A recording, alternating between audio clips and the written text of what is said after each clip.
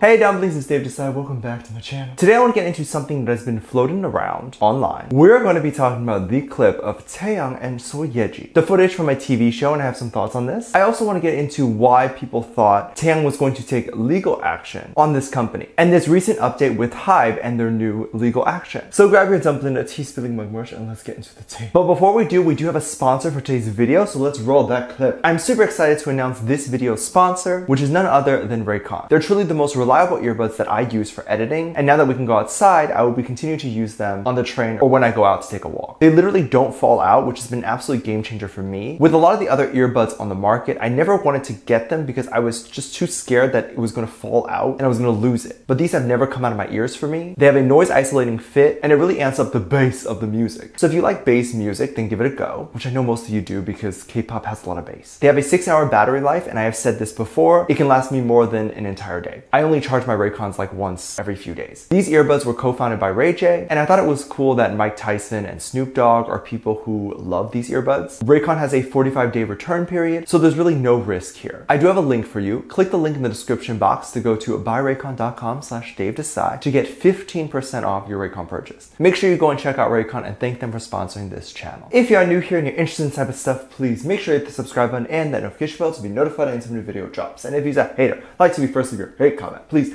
make sure you hit the subscribe button and that notification bell also so you can be first to do so. Now let's jump into it. The first thing I want to talk about is what is going on with Taehyung and Seo Ye Ji. Now, if you aren't aware of who Seo Ye Ji is, she's a very famous actress in Korea. She's been around for a long time and she has been in big TV shows and movies. Right now, she's facing some serious backlash. Something about her being really rude and bullying people allegedly. I don't want to deny or confirm those claims because I don't know enough about it. This is just what's being reported on the news. Seo Ye Ji was definitely known as Korea's sweetheart actress and everyone loves her or loved her. She started facing some serious backlash recently over those claims and she's been allegedly replaced in certain shows and etc. However, she's more famous than ever now and people say that's a good thing and makes it worth it. Just a quick note because there's a big misconception that I feel everyone has. Being talked about as a celebrity is important. It keeps you relevant and all that, we know this. But if everything that's being said is leading to mass shows allegedly getting rid of you, then it's not great. If Seo Ye Ji is being allegedly replaced on TV shows, how does that help her in her career in the long run? It doesn't. I personally do not believe all publicity is good publicity because being famous doesn't guarantee making money. All these criminals we hear about on the news are famous, but they're not rich. But anyway, Seo Ye Ji is being talked about a lot, and recent clips started to resurface back when she did the show Hwarang. Now, if you recall correctly, our sweet little boy, our handsome little boy was on the show Hwarang a little while ago. Our sweet Tay. This was his acting debut, and he did such an amazing job. Recently, some clips of Taehyung and Seo Ye Ji came to light on social media, and people were seeing that they were on the same set together, and obviously doing this show. According to a bunch of people, this was the only clip they could find, as many people wanted to see their interactions with each other. They don't seem to have many backstage or award show type of reactions, although I don't know if Seo Ye Ji and Taehyung have been in an award show together. But one person on the Tweetster found this clip and wrote, This was the closest Taehyung x Seo Ye Ji I could get. This person is obviously heartbroken that they couldn't find anything else. People were wondering since they're both attractive, if they've ever dated, and we don't see any of that out there. But they were together on set. At least the editors made it appear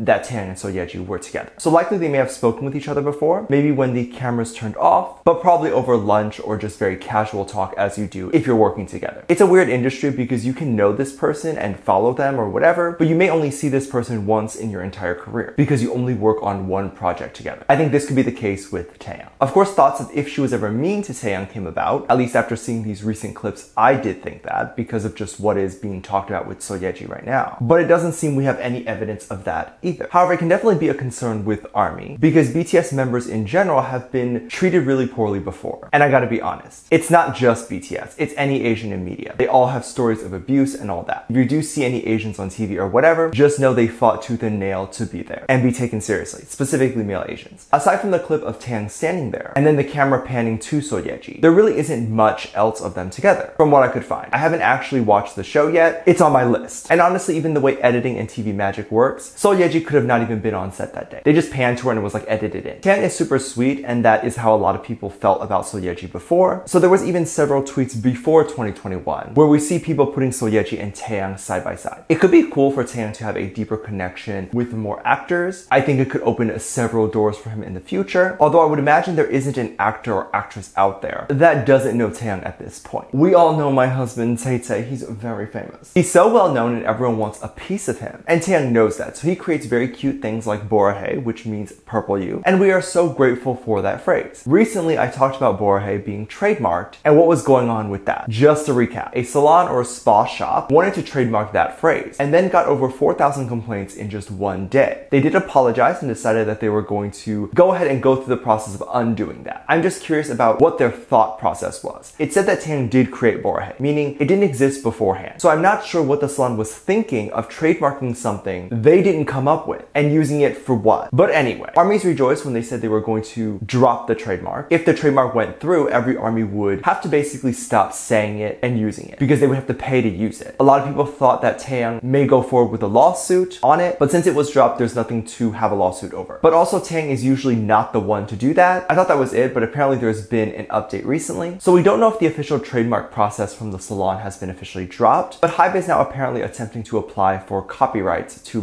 I know I said previously that Hybe wouldn't want to copyright or trademark the phrase, or specifically sell it because they don't want to put a price on love for armies. That was my theory, but I think it's smart that they did this because the salon did the right thing by dropping the trademark. Ethically, it was the right thing because it's not theirs to trademark. However, that doesn't mean that some other company wouldn't attempt one day to trademark it and 4,000 complaints may not even bother them. So they would just go ahead and do it. And quite honestly, I'm not sure if Tang were to take legal action at that point if he'd win the case and get the phrase back. Because legally, there's nothing wrong with what the salon company did. Like they can and are allowed to legally file for a trademark that hasn't been trademarked already, I believe. Since Purple You was not trademarked already, anyone can take it, but it's just ethically not right. Hybe applying for the official rights would give armies a right to say the words, and it looks like they may even look into trademarking some other phrases that BTS or other artists would say, just so the issue doesn't happen in the future. They seem really frustrated over this, and they even released an official statement. They wrote, As there has been continuous attempts to acquire rights to representative terms related to Hybe and its artists, we have recognized this as a serious issue. We are doing our best to procure rights in order to prevent other businesses from processing or owning words related to our artists. The copyright claim to Borahae was also part of this objection. I'm glad they're doing it. I know it seems silly to most people and petty to copyright words like that, but those words and phrases mean a lot to the fandom and to the culture that BTS brings. It's what Taehyung says the most. It wouldn't be quite fair to simply let other people not just say it, because that's fine, but allow other people to make money off of the phrase that Tam made up. It's kind of not okay. I'm curious to see what happens next. Let me know what you think. Let me know what your thoughts are. Leave it down in the comment section down below. Give this video a thumbs up, subscribe if you haven't already, and I'm featuring this comment right here. Thank you so much for leaving comments.